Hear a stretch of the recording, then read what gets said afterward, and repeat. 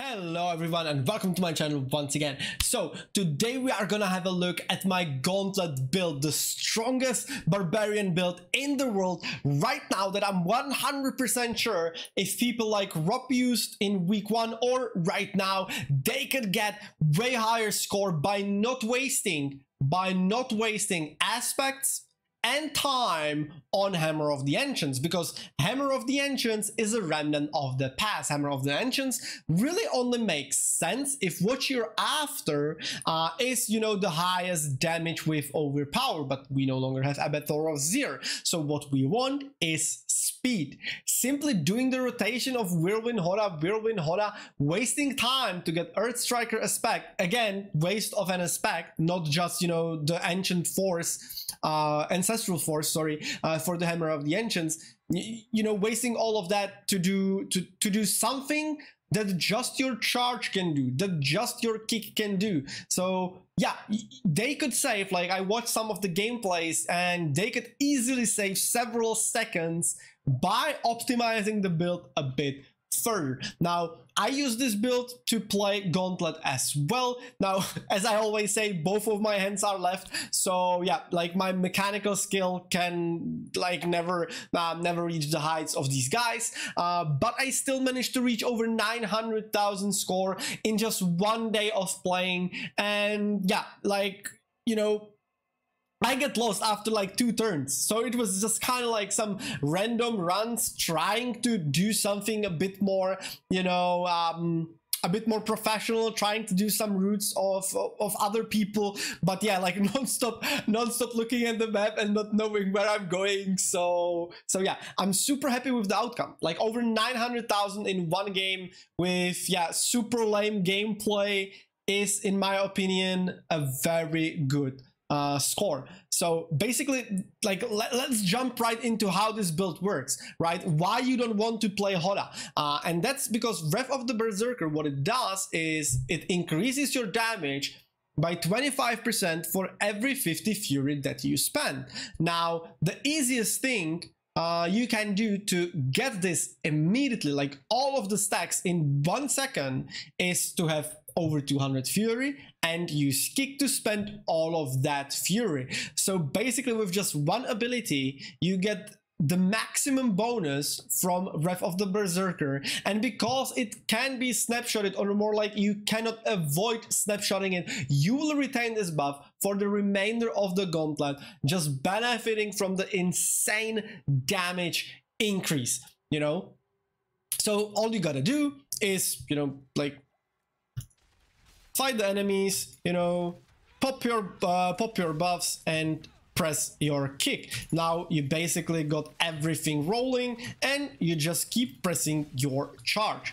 As you can see, there are like 20, 30, 40 million damages flying around. Uh, so kick uh, with charge and Wrath of the berserker is absolute monster 43 million there no problem you just keep rotating your uh, shouts and just charging, you know, like you can see like 40 million flying around all the time. It's just bonkers. Now, of course, Kick itself deals a lot of damage as well as you could have seen over 40 million damage so yeah kick and charge instant killing everything in the game uh, you know in current in in current end game because uh, yeah it's t70 difficulty in the gauntlet so do not, I repeat, do not waste time, aspects, and even skill points, to be honest, on Hammer of the Ancients. You don't need it. And um, for example, Lani is now using this build. She's one of the best barbarians in the world for sure. She's in the top 10 in just one season, in just one season of playing Barbarian, missing a lot of items, not having brawling skills on the on her amulet, which you know I don't have either, so I'm losing uh, I'm losing quite a lot of damage on the charge there. So you can definitely push it like higher in terms of damage, you know, and yeah it's not you know it's not uh, just the charge damage that gets in increased with the brawling skills it's also the cooldown that gets reduced and that goes for kick as well the cooldown gets reduced so three brawling especially powerful there. She doesn't have it. She doesn't have Uber Stones from the Malphas and still absolutely decimating all of her enemies, you know, absolutely de decimating barbarian mains, playing it for months or even years if we count previous Diablo installments. And she is currently using my build and hopefully, hopefully having a lot of uh, fun with it. Um, so let's jump right into the planner and I will show you how to use this build, what are the synergies and why it is so damn powerful. And there is also a variation of this build for T100s and Duriel that you can use and you will always do any content. Like that variation hits for a hundred million normal crit charge uh, and even more with the overpower. So it literally one shots everything and all you gotta do is turn your brain off and just charge charge charge you know? And yeah that for me at least um, is quite a lot of fun to be honest you know? So let's jump right into it. Okay, and so now to look at the build itself. So kind of like an evergreen build. I don't think you can do much in terms of your gear and aspects. Like there are, you know, set items and aspects that are simply the best for Gauntlet. So we are going for Shako, we are going for Rage of Harrogath. Rage of Harrogath is the best chest in the game pretty much. I've been using it for weeks, if not months well, especially because I'm I'm a Rend Barbarian main, right? So yeah, the cooldown reduction on this chest plus all the damage it gives us, especially with the crit strike chance, to make sure that our charge pretty much always crits against elites to instant kill them, absolutely bonkers. Then for Gloves Ancestral Charge, for the affixes here, what's most important is Strength and Crit Strike Chance, uh, but because we are not using any other core, then obviously I'm going for 4 ranks of Whirlwind, though my my uh, you know own gloves don't have it. They have rend but it doesn't really matter. The, the, the biggest you know damage comes from kick and uh, charge which you can't really have on your gloves so uh, it doesn't matter if you don't have it there and all stats again to boost the damage further. Uh, but you can also of course go for attack speed. It smooths out the animation even though Whirlwind doesn't benefit in terms of damage from attack speed. You know, you get nothing if you're just, you know, Beyblading around uh yeah as i said it still smooths out the animations which can make you go faster especially when your animation canceling like evade whirlwind you know very very uh very good to have as well. To be honest even if you have lucky chance there again okay to proc your rage of harrogath. You really can't go wrong on gloves as long as long as they have strength and crit strike chance uh you know especially crit strike chance. Just make sure it's maxed out or like I don't know, 11 and a half percent, very close to the max. Then for pants, Tibault's Will, insane amounts of damage, you know, that's what we want, so uh, can't really choose anything else there.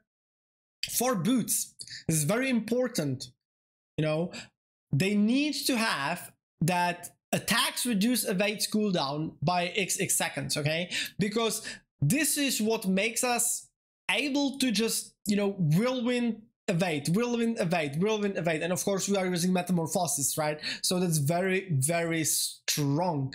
Uh, you don't want to be like channeling your whirlwind because then it doesn't, you know, count as like several attacks. You want to be clicking your whirlwind to keep spinning because yeah, like every, uh, every click will count as different uh, as a separate attack. So that's how you will just, you know, uh, go with, go with your cooldown uh, reduction on your evade.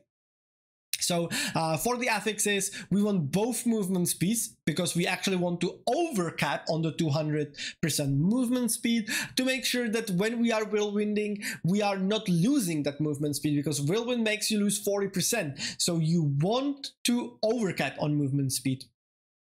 Uh, we are also using Shrine Duration. Basically, all of the builds you could say in the Gauntlet are Shrine builds. Uh, shrines do almost all of our damage. Shrines do simply everything. So Shrine Duration, super important. And then Strength to get the more damage with aspect of Ghost Walker to, again, be faster to reach that, uh, you know, movement speed cap.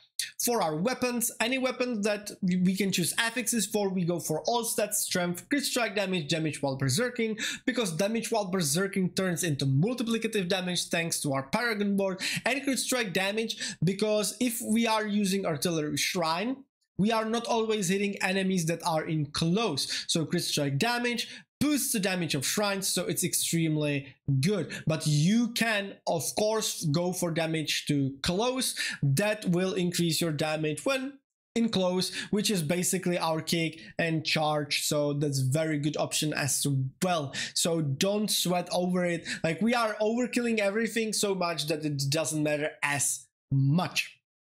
Now, uh, I have Brawler's aspect here on the 200, but to be honest, you can very easily, and if I had another aspect, I would probably do that, swap it with your other one-hander, which has Edgemaster's, so you can put the Edgemaster's on your two-hander just to get another 20% multiplicative damage increase to your kick and to your charge. Plus, of course, Whirlwind as well, right? But as I said, Whirlwind is not the main source of damage. Um, our other one-hander is Ramaladni's. It's like the best item in the game, uh, best weapon in the game. Basically, if you are not playing Hammer of the Ancients, you always play Ramaladni's. It's just so so strong. Um so it's very important to have this one and 925 item power or very close to it. And then 0.4 percent multiplicative damage increase based on our fury. Those two are super super important. And then if you really want to min max and you don't want to lose points in your paragon board which is of course what I, what I suggest you want to get maximum fury there as well because you want to reach 200 Fury and a little bit, like 202, 203 or 204. That's what you want to have. It's easy to get if you, you know, get more points in the Paragon board, but I'm trying, or like what I did was super, super min-max, just, just, you know, to the peak. So try to get 30 max fury here. Uh, then of course, grandfather, you know, this is crit strike damage based build so yeah self-explanatory uh, to have this one Ring of the Ravenous to uh, get our ranks of brawling skills, which increases the damage of the charge, reduces the cooldown. It also applies bleeding, which works super well with Rage of Harrogath.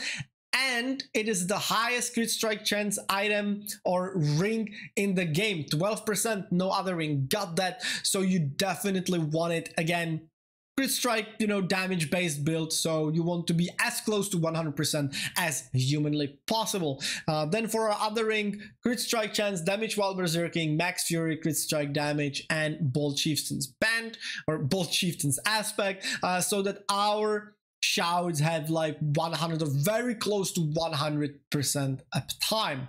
For our amulet, again, ranks to brawling to increase the damage and reduce the cooldown, shrine buff duration, cooldown reduction and movement speed with aspect of metamorphosis to gain more mobility. Now there are layouts like this week layouts for example that don't benefit from metamorphosis as much. It's just like straight paths, straight paths, and it's like caves, it's tunnels, right? You can't really go to the side, so you're just you're just rolling your charge across um, across the whole length of the cave. And yeah, metamorphosis like loses a little bit, like a little bit of the benefit, but you like these amulets are so expensive or so hard to come by that you probably don't have two of the same amulets to put something else there to just increase the damage of charge or something. So yeah, metamorphosis uh, here like all arounder uh, all arounder being the best. And then you know slot some gems uh, in your jewelry to get some resistances. It's t70 mm, so it's very easy content. You don't really need resistances to survive. So like get like fire lightning and poison. You know these are the three most important resistances in the game.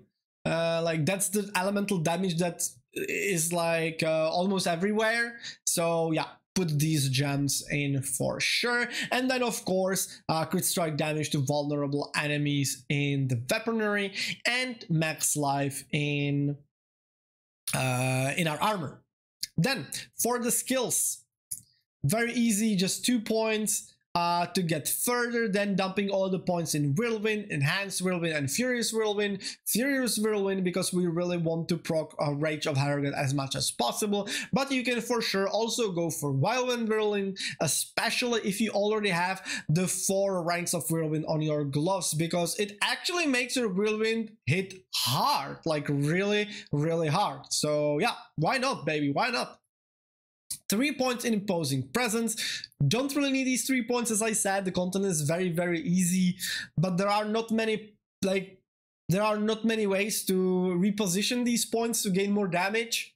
So yeah, feel free to use these as you see fit.